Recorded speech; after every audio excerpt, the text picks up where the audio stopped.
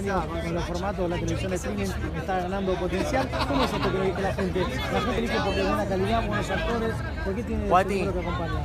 Yo creo que sí, que la elección de la gente es porque Caetano ha hecho una estupenda producción, una estética que lo caracteriza y además hay un elenco y una historia y por encima de todo un personaje trascendental como fuera Roberto Sánchez Santos. Y esto que hace todos los días, digo, no esperar una semana para cada capítulo. Es una miniserie, pero va de lunes a jueves. Va de lunes a jueves, 22.30 Telefe. Sí, bueno, esa fue una decisión del canal. En realidad el formato original era una miniserie de- para emitirse una vez por semana. Pero a último momento se cambió por este formato y bueno. ¿Les sorprendió a ustedes el número de la gente que acompaña? Eh, sí, fue en realidad superó las expectativas. Teníamos muchas ilusiones puestas porque se laburó mucho y muy bien, pero la verdad es que los números superaron lo que uno podía pretender. Antonio, ¿cómo toman las críticas al más que nada los proyectos? Al cable, digo, no lo muevo mucho.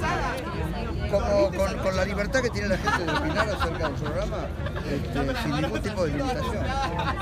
Les puede gustar o no y está todo bien. Ustedes para componer el personaje, ¿intentaron no o Fundamentalmente, esa es la idea. No imitar, no, no, eh, Caetano no quería un símil ni una caricatura.